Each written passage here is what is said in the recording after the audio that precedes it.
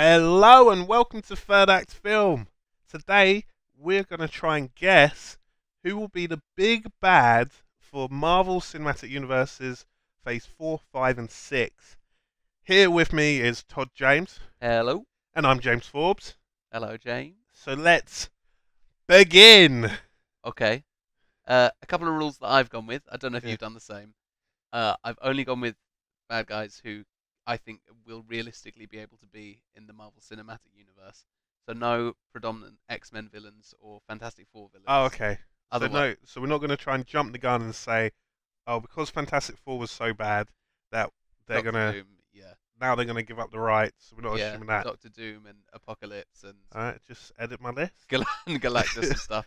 So Yeah. yeah, there there are some of them are slightly secondary choices. Yeah. Um, but the choice, my, all right, my this is the one that I most would like to see, Norman Osborn.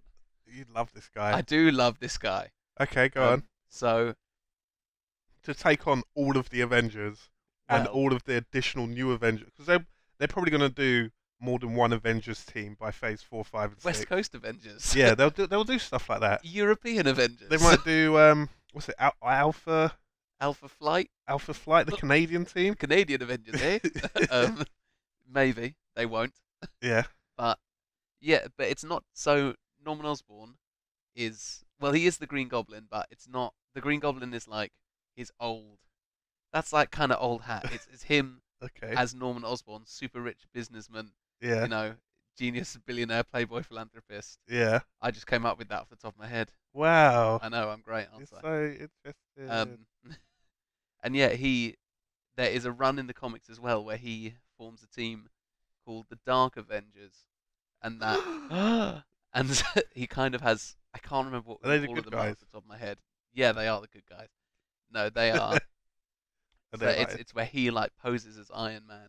yeah, He gets a bunch of other bad guys to basically be pre- pretend or well not even pretend they are the Avengers. Yeah. In in the public's eye, and it's basically his own task force of super beings to just do whatever he wants with the world, and that culminates in one of my favorite Marvel stories, Siege, which is Okay. where just to give like this is a super brief synopsis, and this would be like the final final end of phase whatever yeah.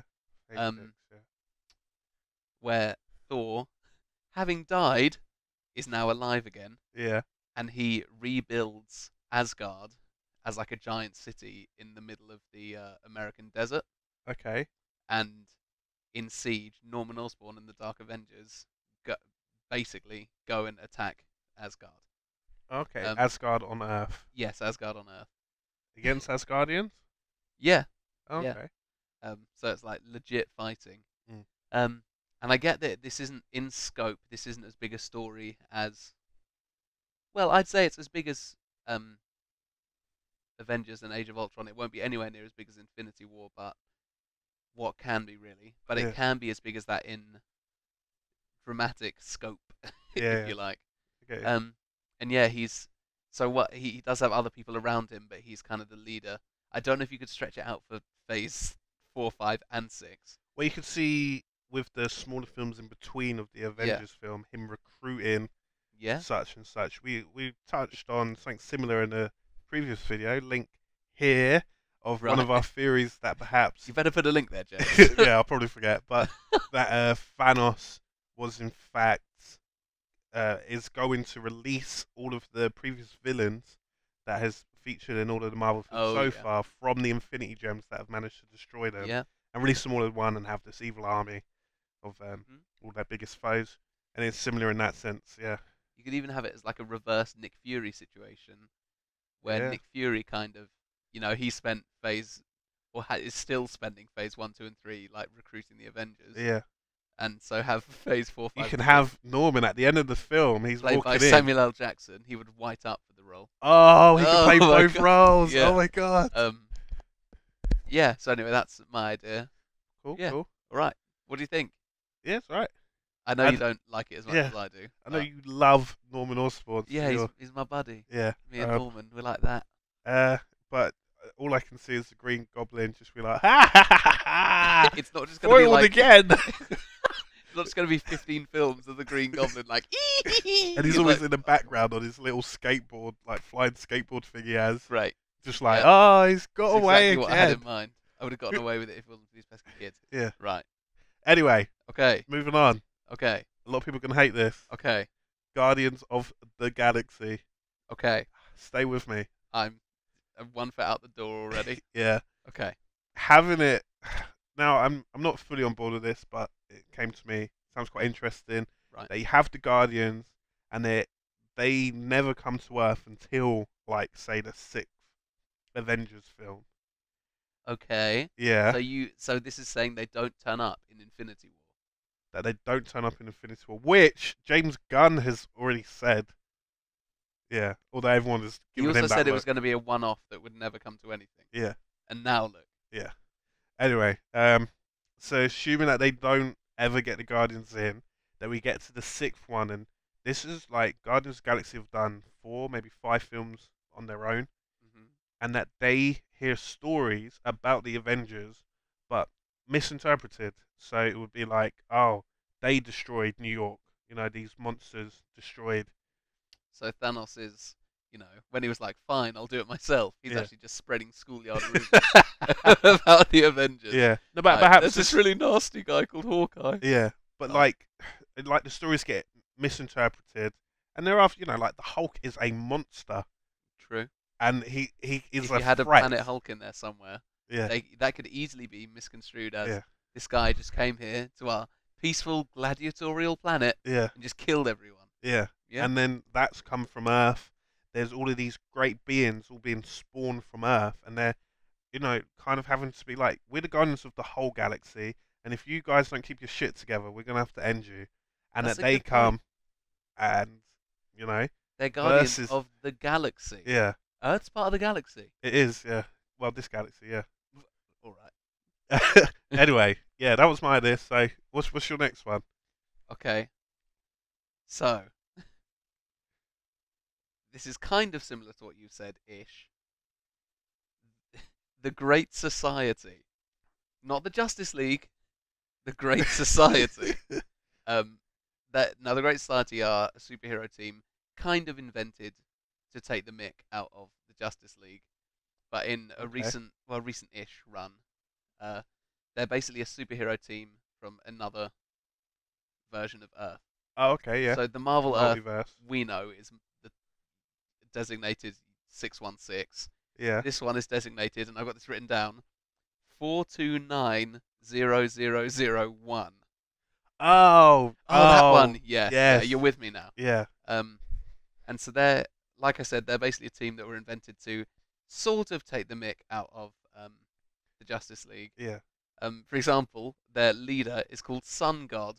Zor An is his name, Wow. and he is like this all-American, cape-wearing, super flying guy.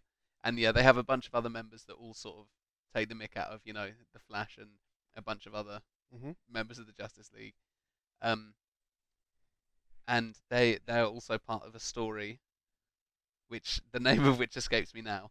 But it's the um, it was the uh, in the Marvel Now the story with the Illuminati, which in Marvel Comics the Illuminati is all the sort of greatest minds of the universe, or not the universe of Of Earth. Earth. Yeah. Yeah, and they come together, and we've got we've seen a lot of them already. Tony Stark, um, Black Panther, Doctor Strange. Yeah, exactly. Uh, we're gonna get Black Bolt, who can't talk. Yeah. Um, some obviously couldn't be there. Reed Richards and uh, Professor Xavier. Um, and yeah, they're j- and my my biggest thing about this, not only is that a great run leading up to it that they could explore over multiple films, but in all the Avengers films we've had so far, it's been them smashing through Chitauri, or them smashing through Ultron robots. Yeah. Imagine just six on six, like robot wars. Yeah. Like get Jeremy Clarkson involved. Wow. Well, no, don't get Jeremy Clarkson involved. Yeah. But um, it would just be quite a different thing to witness. Again, like with Norman Osborn, probably couldn't make a three-phase run out of it. Yeah. But No, no, no. Yeah. It's interesting. Kind of having a Marvel versus DC. I don't really see. Yes, DC in their comic book world, they've copied from it, and Marvel have copied Yeah. from each other a million times. I don't see that translating well for the movie industry. They were like, "What? You, No, I mean, it- it- what? It was just like a casual at man. How dare you? B man. right. Yeah, Um. but I get you. I get you. Yeah, no, Yeah. Pretty cool. It's pretty cool. And yeah.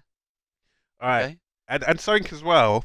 When you said about the Inhumans, I was like, I, Maybe I we've said about just- the Inhumans. yeah, you said about Black Bolt, Right. Yeah. and I was just like, wait a second. You think about the release dates of Phase Three, yeah?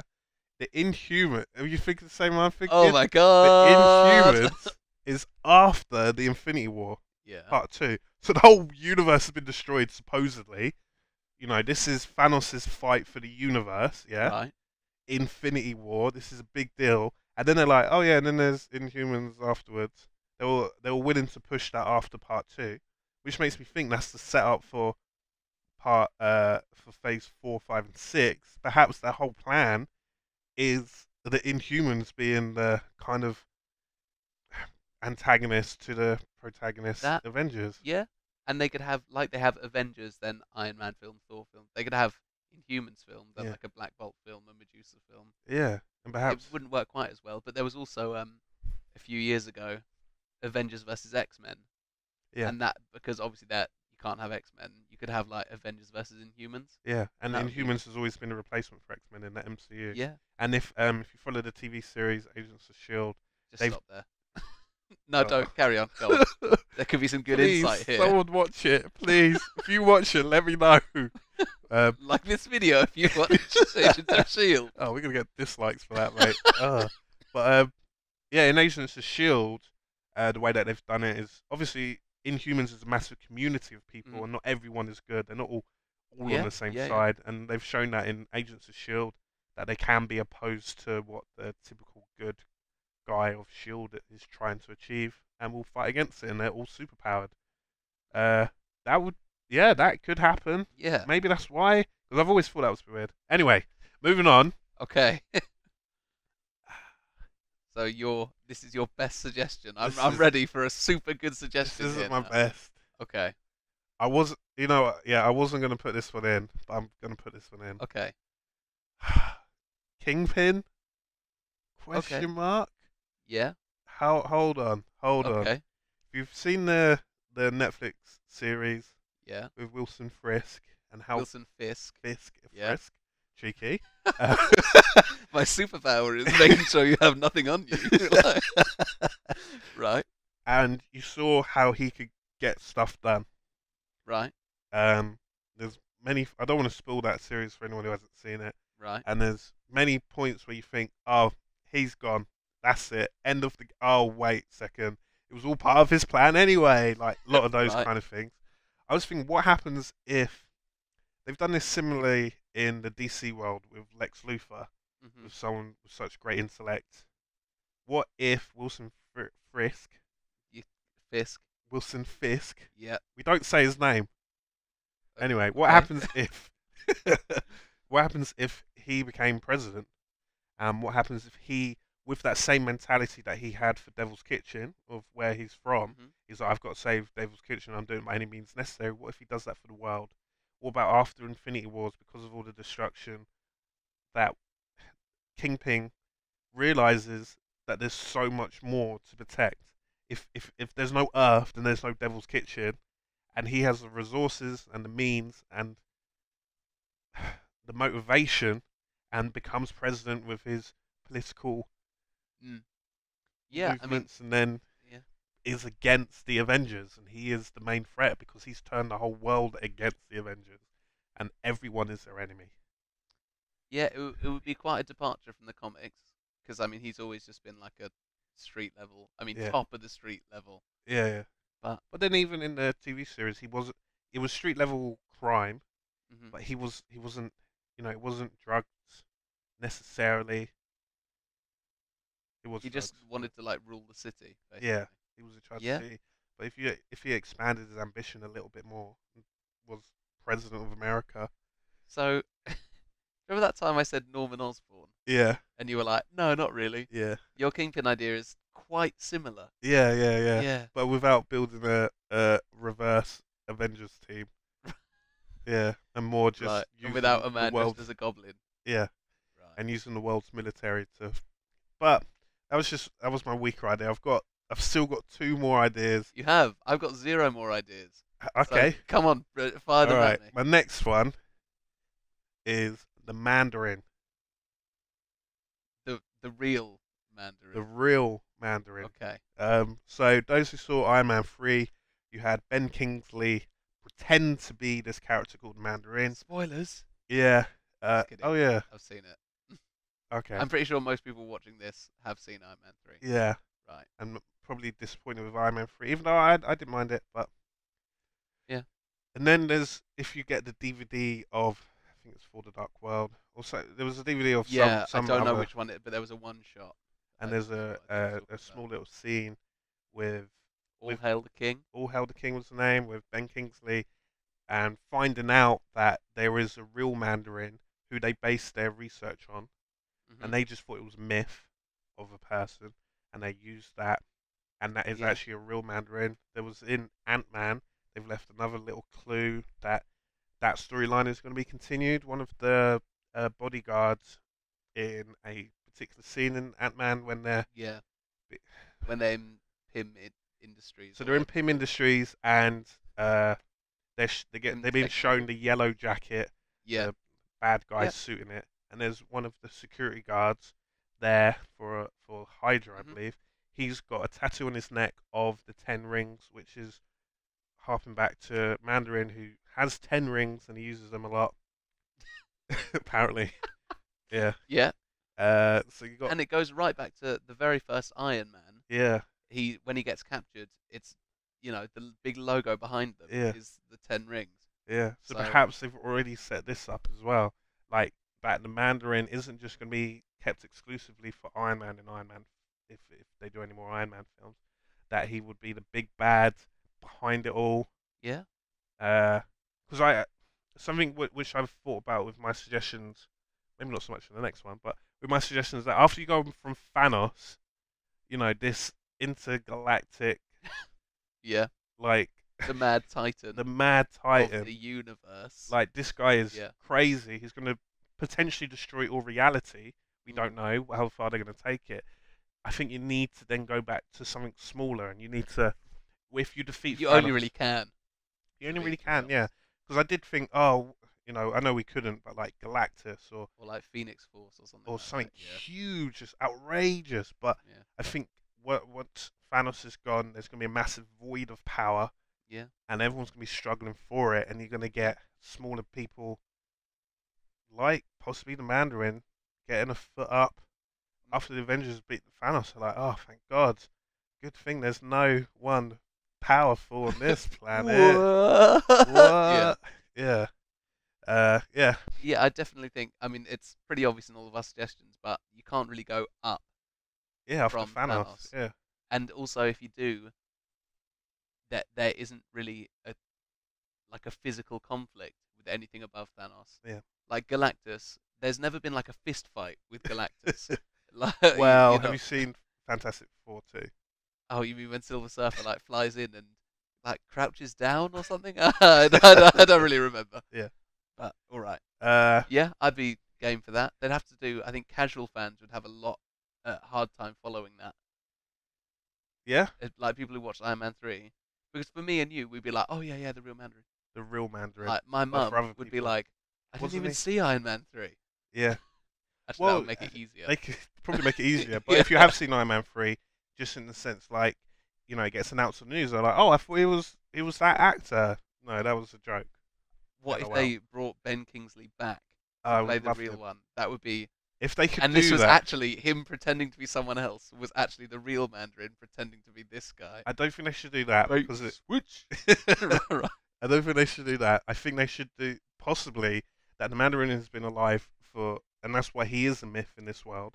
That he's been alive for ages because he uses hosts, and that the sense that there's the essence of Yeah. Mandarin, You That can is link that into Doctor Kingsley. Strange and the Ancient One and stuff like that as Yeah. well. That would be pretty cool.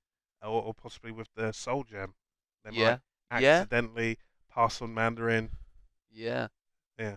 But anyway, Yeah. my final, You've final, really sold final me on that, by the way. I, just, Yeah? I, I was a bit like eye rolling at the start, but you've actually really sold me. Yeah, because again, you've got with the Infinity War, you had the whole gems. Oh, we got to catch them. Oh, Pokemon. Uh, now you got the rings. Pokemon reference.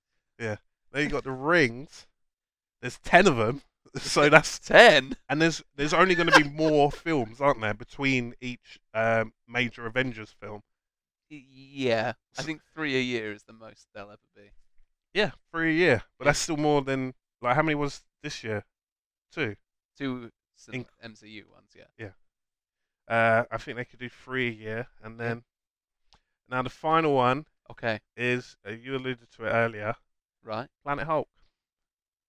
Doing Okay, doing a Planet Hulk slash World War Hulk storyline between Avengers four, five, and six, and having it that I don't know, perhaps in four in Avengers four he gets given the boot by the end. It's like all right, off you go.